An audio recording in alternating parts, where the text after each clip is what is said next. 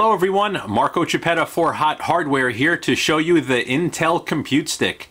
If you're unfamiliar with the Compute Stick, it's basically an entire PC shoved into an enclosure not much bigger than a high performance thumb drive. So inside this plastic enclosure is a quad core Intel Atom Z3735F quad core processor, runs at 1.33 gigahertz base clock. 2 gigabytes of RAM that's soldered on board in a single channel configuration. It's got built-in Intel HD graphics and 32 gigs of internal storage. Now this particular version is running Windows 8.1 with Bing, but there's also an Ubuntu version with 1 gig of RAM and 8 gigs of internal storage on the way. There's not much happening on the outside of the compute stick.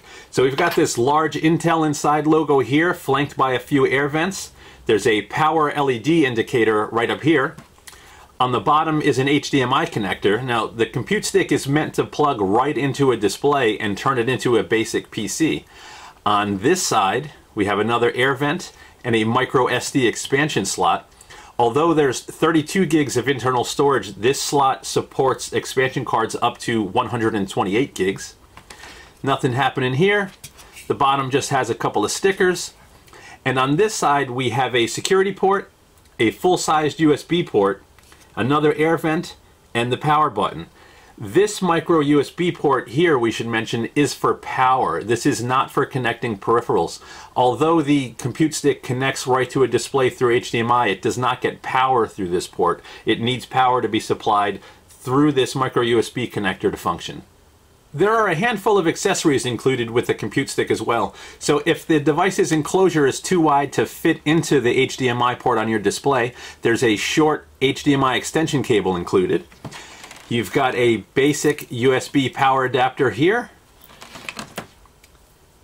a full-size USB to micro USB cable, and these are a bunch of different connectors for this power adapter to support different regions around the world. The version of the compute stick we're looking at is running Windows 8.1 with Bing, so we thought you'd show you around for just a moment.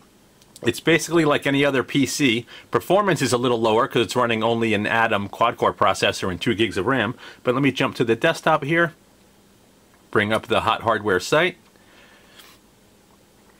So scrolling on the device and browsing the web is no problem at all. Forgive me if I'm a little slow. I'm using a tiny handheld HTPC keyboard here. Let me click a story.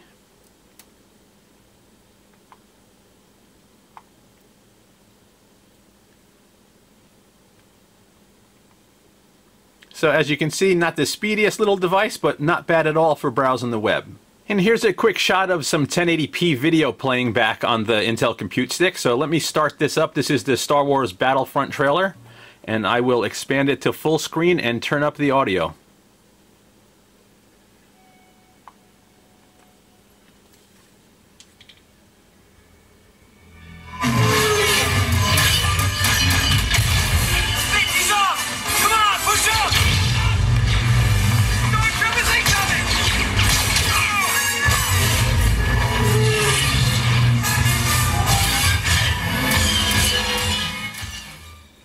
So as you can see, 1080p video streamed from the web. We also tried a bunch of local content and streaming from a NAS on our local network.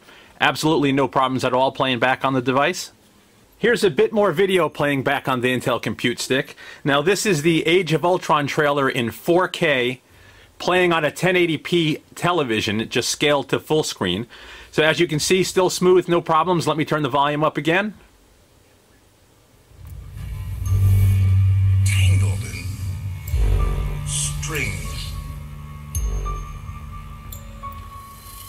So we also tried remote desktoping into other PCs and even tried Steam's in-home streaming, streaming games from a gaming PC, and it all worked without a problem on the compute stick. We should mention though, the built-in wireless isn't ideal for Steam in-home streaming, so you're probably better off using a wired USB dongle or getting a uh, 802.11 AC adapter.